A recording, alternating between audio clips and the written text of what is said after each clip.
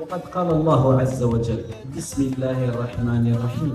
يا أيها الذين آمنوا اتقوا الله وكونوا مع الصادقين. قبل ما ناتيكم قد فتح الله علينا بزيارة كريمة لأحد أهل الولاية والصلاح بهذا البلد. اسمه سيدي عبد الحميد ويسمونه عندكم؟ باسولين باسولين هذا؟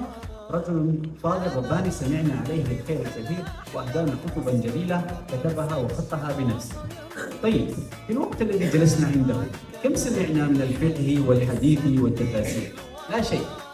كم سمعنا من الكلام؟ القليل. كم وقت الدعاء؟ القليل. الباقي كله كان نظرة.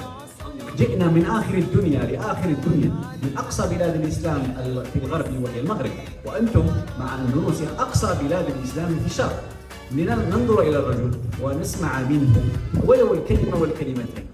كان يفتح على الرجل بالآية والآيتين والحديث والحديثين في زمن الأول لما كانت الآية لها القوة في قلوب من يتلقى الوحي الرباني.